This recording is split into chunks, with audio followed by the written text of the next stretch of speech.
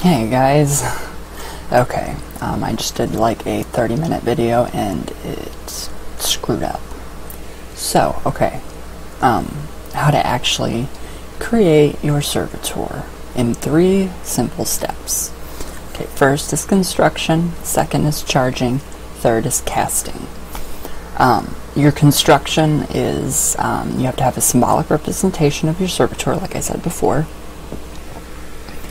Um, it's really not hard. So what you get, um, you can do it very simply. Um, you can go ahead and you can write a letter, act like you're writing a letter.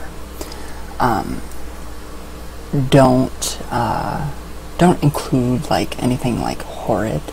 Um, don't send your servitor after people unless um, that is something down the line that you feel that is appropriate and justified. Um, so you can you can go ahead and you can you can uh, con- start to construct your uh, your servitor. Um, what I did was I got um, in my head a sigil. I had no clue, so I wrote the sigil down on a piece of paper. Um, I took a prick of my left finger, um, just a tiny dab of blood. Um, every once a year, um, that is what my servitor gets fed. That keeps our bond um, that keeps us connected. Um, so he's been alive for quite a few years now. um, okay, so you're to get like a, a sigil or something. Um, you're going to start writing. Write down um, what your servitor is for, its purpose. Um, if you can, if you can astral project or just use your imagination like a child, go into just a fun place um, I go into my astral temple. Um, I create. Um, so this can take um, anywhere from um, one day. A servitor can last. They do have expiration dates. So you can actually do a servitor to, say, help you uh, with an exam for college or school or a, a creative servitor that's going to actually follow you to school and help you um, with, you know, your your work, your studies. Um, it's been a long time since I've been at school, so not 100% sure what you guys do in school anymore. So you have everything written down, and you're going to want to meditate. Put yourself into a, like I said, a meditative state. Um, kind of visualize if you can. If you can't, it's okay. Get that sigil written down. Um, somehow say, okay, say you're, uh, you've named your servitor Sam. Take the those three letters, write them down on paper, um, take take them all, and make a symbol out of them. Um, that is going to be your servitor or thought form, or tupla, tulpa, whatever that word is it's going to be um, it's him or hers um, signature. Um, it's uh, its own symbol, signature, energy, and take it, look at it, stare at it until you start to see those lines fade out. Go into your meditative state, just close your eyes and just start to visualize um, keep that image in your head for as long as possible. Um, in the construction process, you can do this all the way up. You can do it for two years if you want to. That just keeps building and building and building that energy. Um, now, if it was a case of a servitor or an energy form, thought form floating around, that was causing havoc like mine did. Love you dearly, but you did, and you know you did. They talk to me. Um, then you're going to want to bind it. And I do have on my blog um, the Luciferian banishing ritual and binding of shadows. So that's fine. Um, this is not how you're going to do yours because I don't think anything should be bound. Um, my views, um, I have evolved quite a bit from the Luciferian traditions and um, ideology. So you have that um, sigil written down. You have um, on your paper, you have everything written down. um, about what you want your servitor. Be exact. You are creating your own baby. So be precise, be exact. Um, what you want it to do.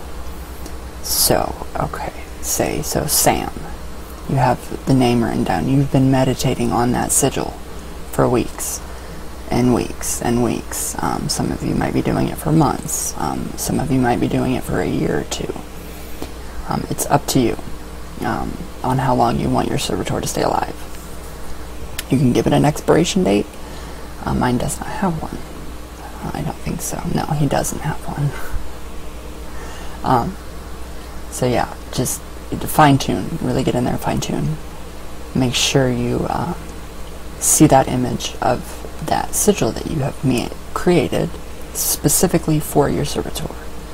Um, stare at it until the lines, like I said, go away. Do that over and over. That is letting that symbol soak into your subconscious. Um, and then it is still it, you're still creating on a subconscious level. You just don't know it. So go ahead, do that for as long as you possibly can. The construction process. So that is a, the meditations. Um, really kind of uh, getting into the astral realm and working with uh, this energy that you're creating. You're feeding it, so you want to feed it um, the best possible energy and intent, uh, positive ones that you possibly can. So do that for, I would say if you're going to do a servitor like mine, I would say you do it for about two weeks before you actually put it to work. Um, so you have, now we're done constructing. Your servitor is constructed. Now what I did for my sigil, I took the sigil, I made two copies of it. Um, I took the, the prick of my left finger, finger, the left hand, and I dropped it onto the paper, the sigil, and I burnt it. Now, along with um, the characteristics that I wrote down of what it was going to do for me personally. Um, whatever you guys choose to put your, your servitor in, um, I actually did. I created him out of a one of those thrift store bottles, really cool bottle. Um, I put the ashes in. Sorry, that was a bit, a bit rough. Um, I put the ashes of the burnt sigil inside. I put the sigil inside. I put his um, his intents, um, everything I have ever written down about him inside. Um, I'm pretty sure I have like from the four corners of my house and four corners of my garden and just different things that um, I would would attain in the astral world, the realm that I created him in. So that is what you want to do. That is specifically what you want to do. You don't have to create him and make him look that elaborate. I just, I think everything should look amazingly awesome and bigger, better, faster, more. So, okay, you've created it. Um, so Sam has a name now.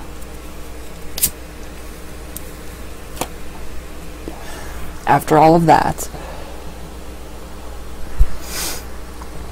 um,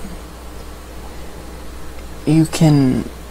it sounded so much better in my head. So much better. Like 20 minutes ago when I had the whole video done. Um, you can go ahead, you can give it, uh, sorry, smoke. You can give it instructions.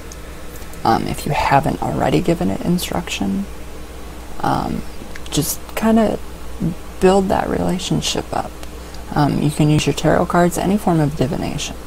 Um, I used the Ouija board to find out what he wants. He wanted pine needles. He wanted pine needles at the beginning of summer. Um, he is fine. He is perfectly fine now. Um, he has not asked for anything else.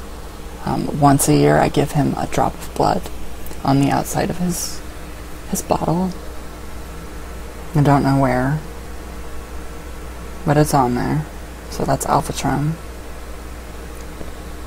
Yeah, he actually, we have a mental telepathy going on. So if uh, you feel like, okay, you wake up at 3 a.m. Oh, oh my God, I think I just heard my servitor say something. Write that down.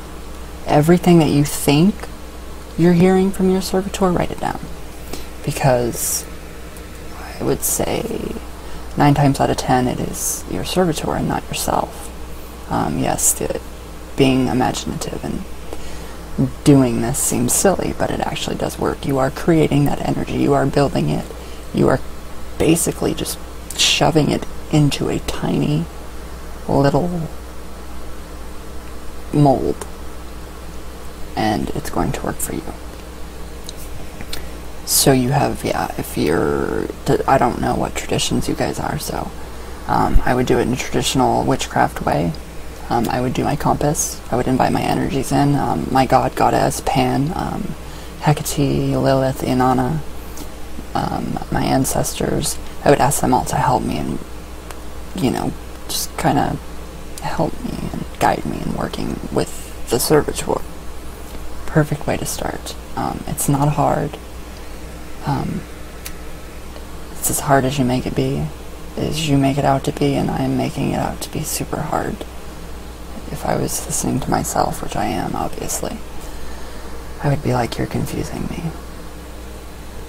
So basically, when you're done with the construction, you have created him, you want to spend time with the physical object.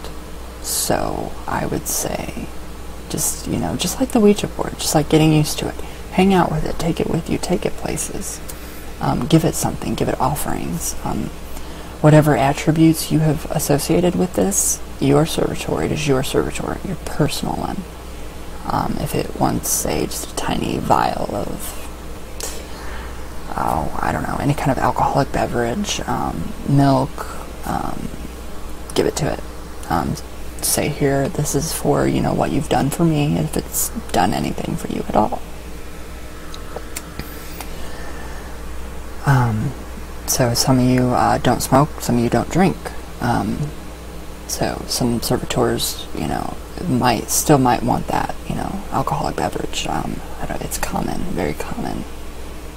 Um, and yeah, I think that's pretty much it. Um, that is best way I can actually sum up of actually focusing your energy.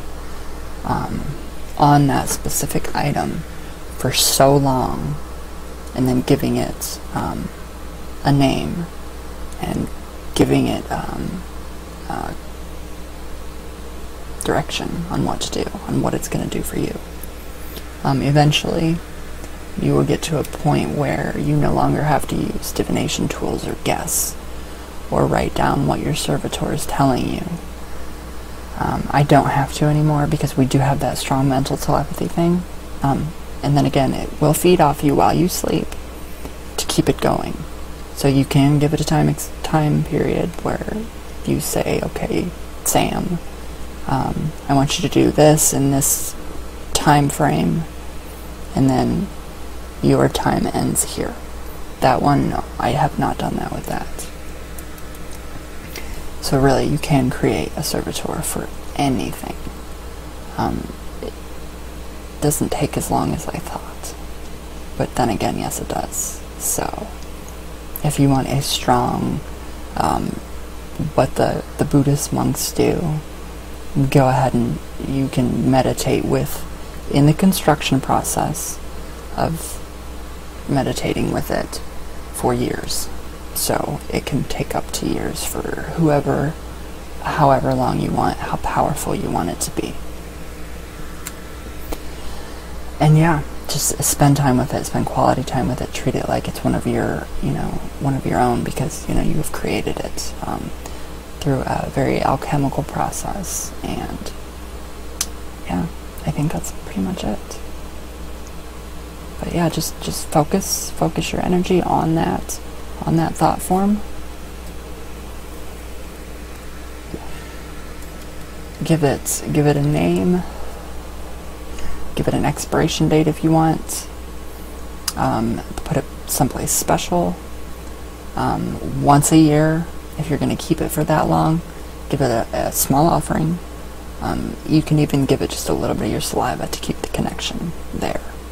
But since I have already bottled everything up, um, our connection is strong and he's not going anywhere anytime soon. But yeah, um, that pretty much, I think, sums it up. Um, very simple. You don't have to elaborate and go crazy like this. Um, over time, you might find yourself giving it more things, um, adding things to it. Um, that's what I've done, so. Yep, and that is my servitor. That is how you create a servitor. So, hopefully that helped everybody. Um, I do have a blog um, if you're dealing with a negative thought form or something that has uh, been unleashed by yourself. You would want to go ahead and use the Binding of Spirits from the Lesser Key of Solomon, which I do have blogged um, um, in my annotations on here somewhere. It'll pop up. Don't know where. I will uh, link it. I will link everything that I have written on my servitor and how to create one to this video. Um, and if you guys still want personalized Ouija sessions, just get a hold of me. We'll discuss rates. Um, Ryan, R-Y-A-N-J-E-S-P-I-C-H at gmail.com. Um, wix.com slash uh, Mr. Ouija. You can go on there. Um, the menu bar, if you hover over home, it will drop down um, media. I am noticing that it is screwing with me. So the media is a drop down bar now under home. So there are new, I'm going to be adding new videos and new pictures and just all kinds of fun stuff. And yeah, I hope that answered um, and helped more on creating your servitor. So, um, all my new subscribers, thank you guys so much. You're amazing. I love you all, all my heart. Humbly thank you all. And um, happy manifesting, happy creating. And if you have any questions, um, you guys always know that I try my best to answer right away. So, alright, guys, I love you all very much, and everybody have a great day. And if I didn't cover something, and if somebody else wants to chime in, like a little songbird that they usually do, go ahead. Um, that's acceptable. But alright, guys, love you all very much, and I will talk to you all later.